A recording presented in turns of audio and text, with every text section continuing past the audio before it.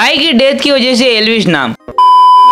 तो राम राम गाइस आपको तो पता ही होगा कि अभी थोड़े दिनों पहले ध्रुव राठी और एलविश यादव की कंट्रोवर्सी चल रही है, जिसमें एलविश को रिप्लाई देते हुए ध्रुव राठी ने एक वीडियो बनाया और एलविश यादव से बोला कि, भाई तूने सिद्धार्थ से अपना नाम एलविश क्यों रखा? आप खुद ही देखो।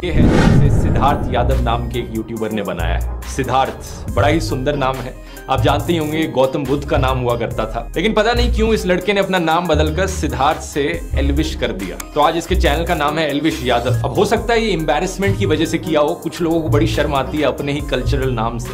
या फिर हो सकता है कि कुछ लोगों को लगता है कि ना बड़ा कूल नाम होगा अगर अंग्रेज़ी नाम है। इसमें ध्रुव राठी ने इनडायरेक्टली कहा कि सिद्धार्थ नाम से लगता है शर्म आती है। जब ये बात खुली तो फैंस ने एलविश यादव को ये पूछना शुरू कर दिया और अभी अभी एलविश यादव ने एक गेमिंग स्ट्रीम की और उसमें उसका खुलासा किया। आप खुद ही देख लीजिए। सिद्धार्थ यादव भाई आपका नाम सिद्धार्थ था ना। चलो आज इसकी इसकी स्टोरी बता दूँगा पब्लिक को। मैं बताता हूँ भाई मेरा नाम था भाई पहले जिसको नहीं पता। उसके बाद अपने बड़े भाई साहब थे। तो उन्होंने मेरा नाम रखा एलविश तो घर वालों ने देखा होगा ये कह रहे यार ये कैसा नाम रख दिया?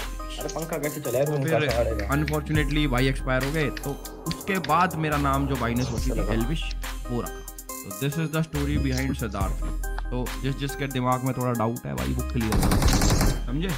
मैं ये सब चीज़ें बताता नहीं। इसमें भाई का कहना है कि ये नाम उनके भाई साहब ने रखा था और फिर भाई नहीं रहे। तो उन्होंने इसी को अपना नाम एज ए एलविश यादव रखा। गाइस इसके ऊपर आपकी क्या राय है मुझे कमेंट में बताना। और प्लीज़ वीडियो को लाइक और प्लीज़ चैनल को सब्सक्राइब कर लो। मिलते हैं नेक्स्ट वीडियो में, तब तक के लिए जय श्री राम।